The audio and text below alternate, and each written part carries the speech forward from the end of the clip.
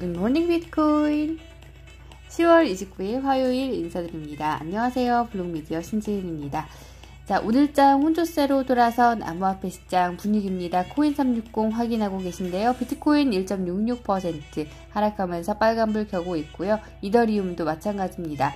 리플과 비트코인 캐시, 바이낸스 코인 등 오늘도 강세장 이어가고 있는 암호화폐들도 많이 눈에 띄고 있습니다. 어쨌든 시장 대장주인 비트코인은 소폭 조정받고 있는 가운데 오늘장 분위기 혼조세로 돌아섰다는 분위기 살펴보셨고요.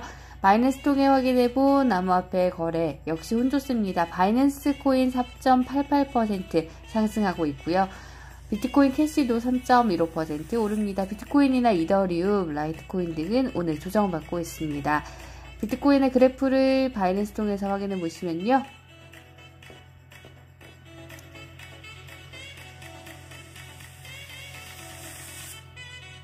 네, 현재 가격은 9,463선에 머물고 있고요. 어제와 오늘 사이 가격 변화 크게 있진 않습니다. 어, 장중 9,902달러까지 갔던 비트코인 현재는 소폭 조정을 받으면서 낙폭을 축소하고 있는 모습인데요.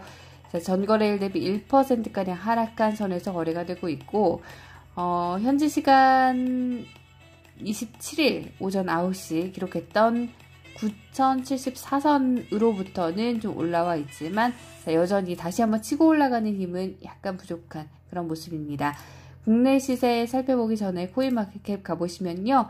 어, 시가총액은 자 급등세가 며칠간 연출이 되면서 시가총액 많이 늘었습니다. 2,511억 달러, 비트코인 점유율도 67.9%까지 다시 올랐습니다.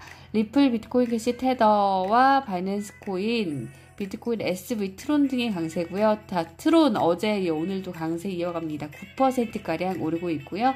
아이오타가 8% 그리고 제트캐시가 30위에 있는데 3%가량 오르고 있고요. 오비세고 11% 오르는 등 자, 오늘 장에서도 어, 좀 강세를 보이고 있는 나무화폐들 눈에 띄고요. 어제보다는 어, 강세가 조금은 낮아진 모습입니다.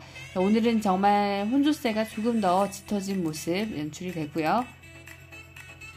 조정된 거래량 위주의 거래소 동향은 자 거래소들의 거래량도 조금 혼조세입니다. 어, 늘어난 곳도 있고 줄어든 것도 있는데 우리나라의 빗썸 같은 경우는 현재 40위 그리고 업비트가 순위를 조금 끌어올려서 47위권에서 거래를 이어나갑니다. 자, 업비트 가격 먼저 확인을 해보도록 하겠습니다. 비트코인 1100만원을 기록을 하고 있습니다. 약간은 아직까지는 가격 움직임이 있지만 0.11% 오른 상황에서 1100만 원 일단 터치를 한 상태인데요.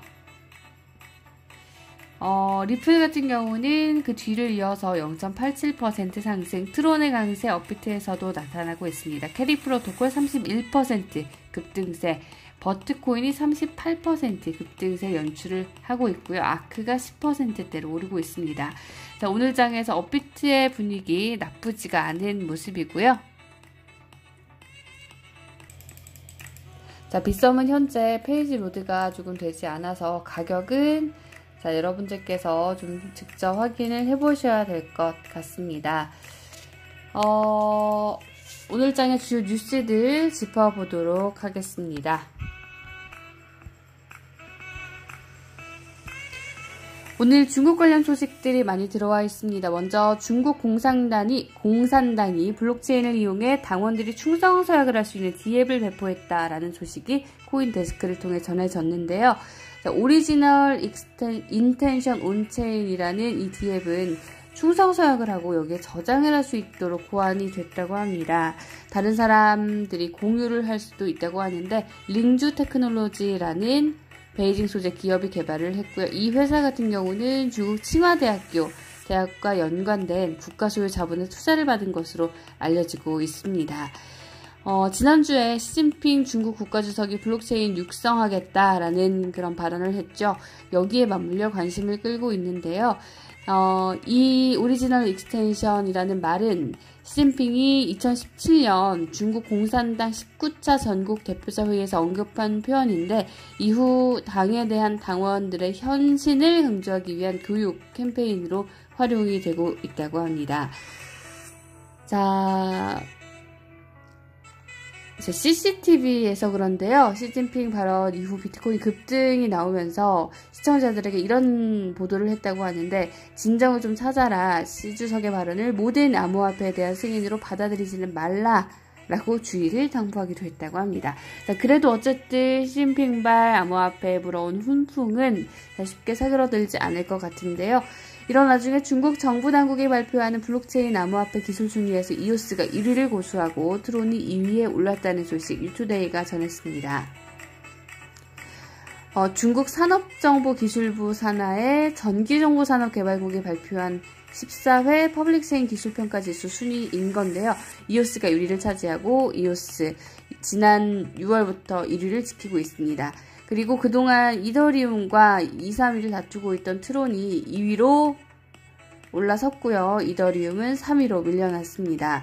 비트코인은 현재 어, 11위에 머물고 있는 모습입니다.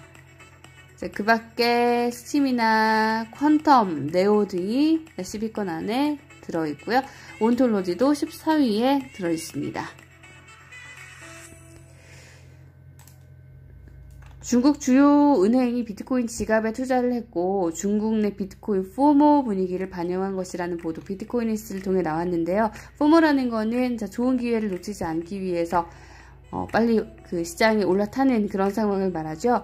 Primitive Ventures의 공동 설립자 Dovey Wan은 트위터에 China Merchants Bank가 비트코인 지갑 BitPie에 투자를 했다라는 소식을 전했습니다. BitPie는 중국에서 가장 역사가 길고 사용자가 많은 비트코인 지갑인데요. Dovey Wan은 China Merchants Bank의 이번 투자 결정은 중국 내에서 점차 강화되고 있는 암호화폐와 블록체인 국유화 추세의 일부라고 설명을 했습니다.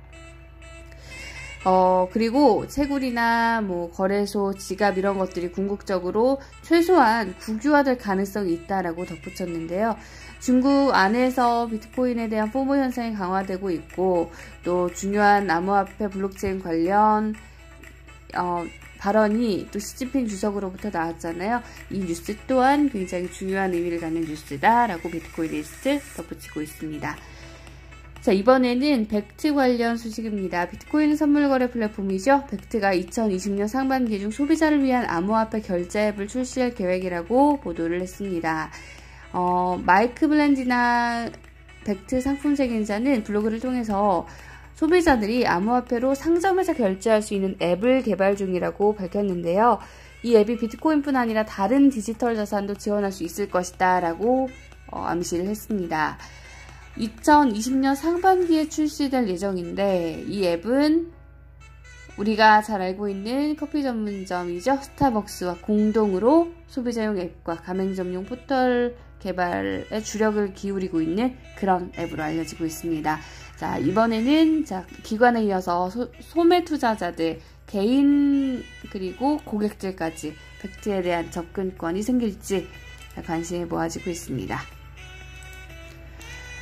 홍콩 투자자들이 블록체인 관련주에 대한 투자를 늘리고 있습니다. 시주석의 발언이 나온 이후인데요. 홍콩 거래소에서 Pantronics Holdings Limited라는 홍콩 소재 전자제품 제조회사가 주가가 급등했습니다.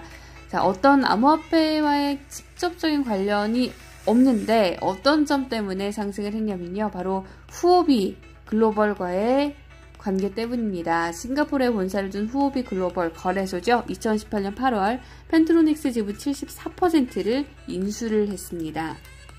자, 인수 당시 거래소는 이 Pantronics를 활용해서 2018년 어, 투자한 스타트업인 Whole Network가 만든 블록체인 전화기의 장비를 만들 것임을 시사하기도 했는데요. 이렇게 펜트로닉스와 후비 사이에 어떤 연결고리가 있는 만큼 이 회사 주가 급등에 영향을 미쳤다는 분석이고요. 자, 중요한 것은요, 일단 홍콩 투자자들이 이 시진핑 관련 뉴스를 장 초반에 자, 받아들이고 시작을 했다라는 점입니다. 어, 펜트로닉스의 주가가 뭐 그 후에 계속해서 상승하고 있지 않고 소폭 조정을 받고 있긴 하지만요. 어쨌든 블록체인이 주가에 반영된 사례로 남게 됐습니다. 비트코인 선물 CME 거래소에서 9,560선 기록하면서 11월물 가격 형성하고 있습니다.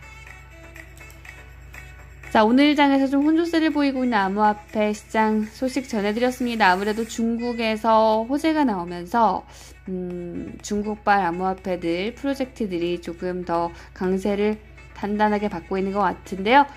자, 정책과 그리고 가격, 그리고 기술이 연결되어 흘러가고 있는 시장입니다. 또 어떤 소식들이 나올지 내일도 기대해 주시고요. 저는 오늘은 이만 여기서 인사드리겠습니다. 시청해주신 여러분 고맙습니다.